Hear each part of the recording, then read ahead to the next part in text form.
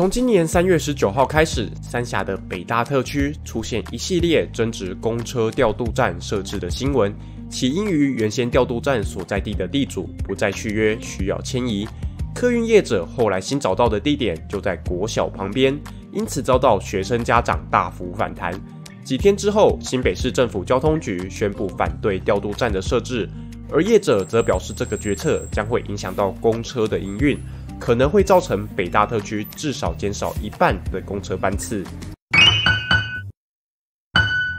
这个面临到迁移问题的调度站，就是台北客运的北大站，位置正好就在北大特区的中心，负责三峡及莺歌地区七条公车路线的营运管理。不过，其实整个三峡除了北大站之外，光是台北客运就还有三峡市区的三峡一站，北大特区外围的三峡二站。总共三个调度站在做使用，会有那么多的战场，以及这次调度站迁移的争议，其实都跟都市计划脱不了关系。北大特区的全名为台北大学社区特定区，顾名思义，就是一个跟台北大学相关的从化开发区域。台北大学的前身为中心大学的法商学院，然而中心大学是由台湾省立法商学院及台湾省立农学院两间学校合并而来。中兴大学成立之后，虽然将校本部设在台中，但法商学院仍然维持在台北的校区运作，地点就在今天台北市的捷运中山国中站旁边。由于跟校本区距离遥远，再加上系所及学生人数逐年增加，法商学院不断传出独立设校的呼声。而当时的台北县也因为县境内只有两所私立大学，希望能有公立大学的进驻，两者一拍即合。最后，在一九八六年，教育部同意将三峡市区周边的土地划为中心大学法商学院的新校区，之后由行政院核准独立为台北大学。为了迎接台北大学的到来，当时的台北县政府将校地周边划定为都市计划区，希望可以把原本的农地改造成富有文教风气的大学城。整个都市计划在一九九一年发布，跨越了三峡及树林两个乡镇。以国道三号及三峡市区作为边界，暂定共一百八十四公顷。在这份都市计划里面，除了常见的住宅区、商业区、公园、机关用地、学校用地之外，其实还有公车站用地的规划，位置就在学勤路及大义路的西南角，也就是今天大学剑桥社区的部分范围。到了一九九八年，台北大学社区特定区实施第一次通盘检讨。考量到学城路才是整个北大特区里面的东西向干道，原本的公车站用地往南迁移了一个街区，来到学城路及大一路的西北角，同时把这个街区从住宅区改为商业区。这样的设定也更符合干道旁边不该紧邻需要安宁的住宅区，邻避设施旁以商业区作为缓冲的精神。不过事实上，北大特区在一九九九年进行第一次土地标售时，建商的开发意愿并不高，虽然后来在提高容积奖励之后全部标收完毕，但是初期前来购置房屋的以投资客居多，一栋栋竖立在高速公路旁，晚上又不开灯的大楼，让北大特区获得“鬼城”的称号。也因为实际居住的人口稀少，当初预留的公车站用地迟迟没有开辟。一直到二零零六年九一六上路之后，才终于有公车进入到北大特区里面。而这条路线还是为了捷运土城线通车才配合辟市。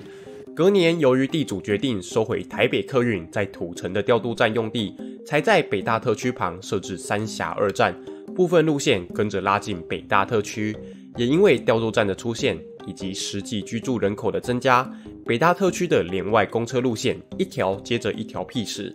在二零零一年，八五一、八五二、八五三、八五五上路营运。最开始希望可以借由这四条短程循环路线接驳居民，之后再统一转乘快速公车往永宁、景安、板桥方向。然而，北大特区的住宅区幅员不过两公里，接驳转乘的政策并不被买单，居民仍然偏好快速公车可以直达住家。四条循环路线在二零一二年全部推翻。预留在北大特区中央的公车站用地，也就因为这样，从来没有实际新建成公车转运站。而目前还在进行的台北大学社区特定区第二次通盘检讨案里面，由于新北市交通局认为已经没有使用需求，准备把车站用地变更为公园用地。至于这次引发争议的北大调度站，最早是地主在二零一零年自行开辟为小客车停车场，后来在二零一一年配合捷运三阴线先导公车辟驶，改由台北客运租下来使用。当时的名称为三峡一站学城路停车场，可以看得出来，只是因为原先的调度站空间不敷使用，才会承租这块已经是停车场的地。之后，随着北大特区的对外公车需求不断高涨。陆续开辟往台北市政府新店，并且承接原先两座调度站无法消化的路线，规模越来越大。最后在二零一五年与三峡一站正式分家，独立为北大站。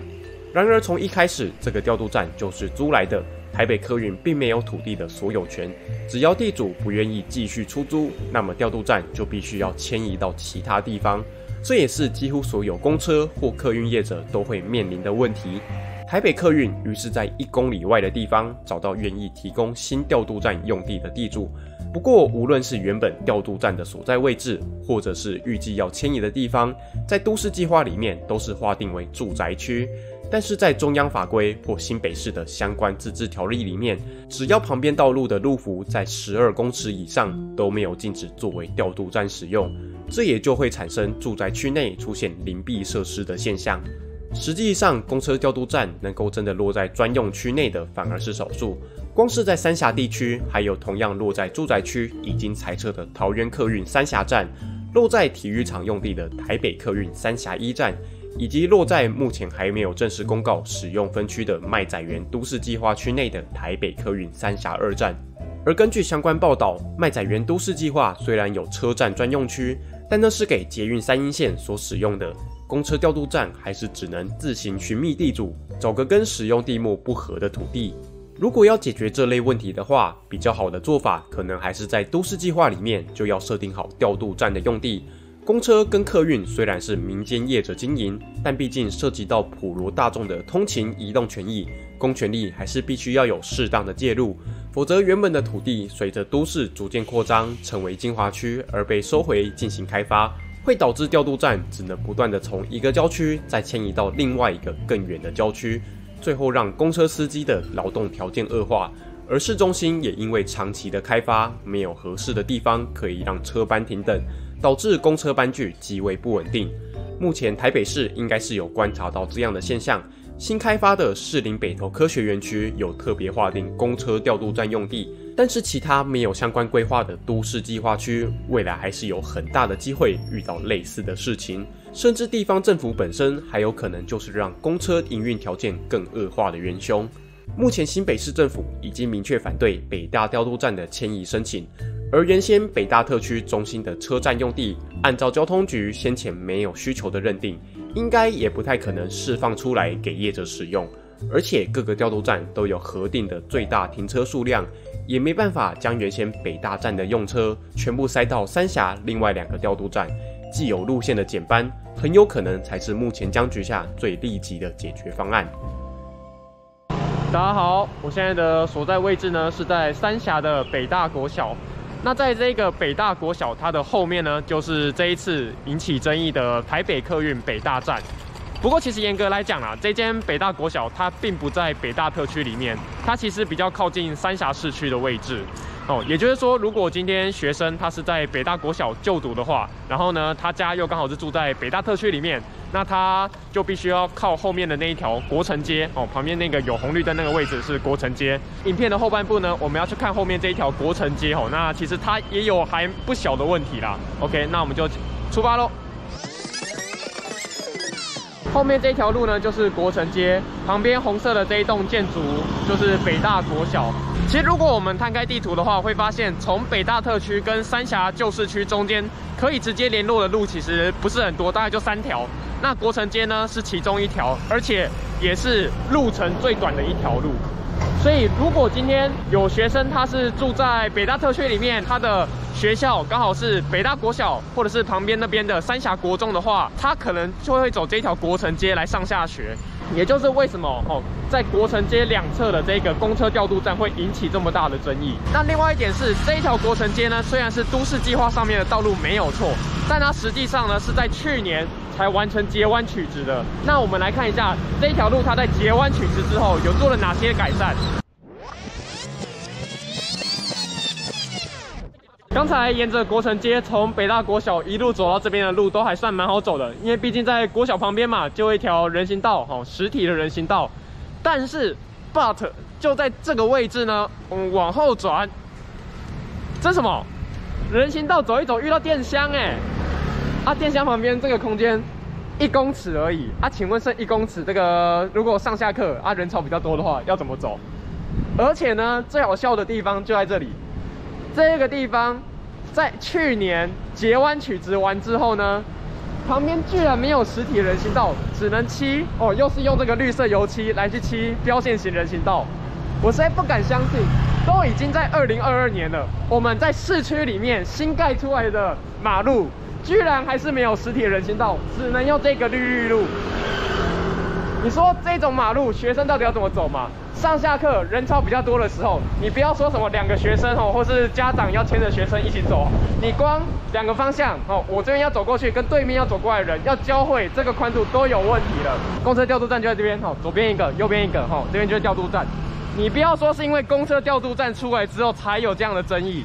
就算这边没有调度站好了，就算旁边的围篱继续围着啊。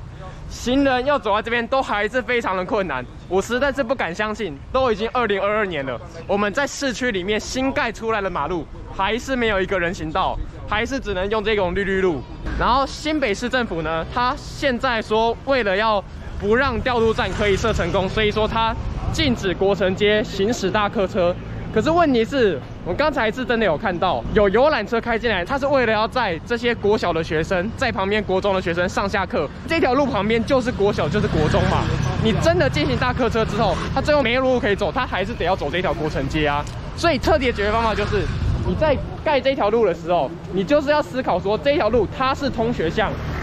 它是要让学生来走的。而不是什么，我把它指定的通学巷之后呢，然后就放在这边撒手不管。目前三峡跟北大特区这边，哦，因为旁边就有高速公路嘛，再加上这边的人口一直在增长，所以说未来啦，可能这边。在使用公车的量可能还是会逐渐的增加。如果说未来台北客运他们真的不用这块地，那可能后后面这个围篱他又再次把它围回来，围到这一条线上面去，那是不是北大国小这些学生他们一样会面临到没有一条路可以好好走的一个状况？所以说真的需要被彻底解决的，应该还是这一条国城街胎没有人行道这个问题。